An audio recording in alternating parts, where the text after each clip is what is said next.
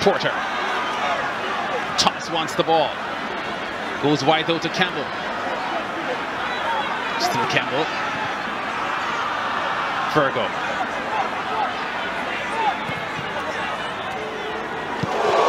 Hardware! Just before the halftime break. Second goal of the season for the 25-year-old. And Boystown are in front of the home Tony Spaulding Sports Complex. Lance, I saw that goal coming 10 seconds before it went in.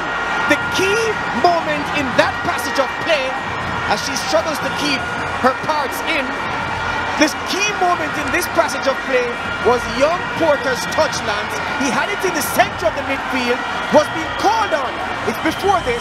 Brilliant play by Campbell to ferry it out to Virgo. Virgo's cross, the first good cross of the evening. Thomas missed it. Hardware didn't.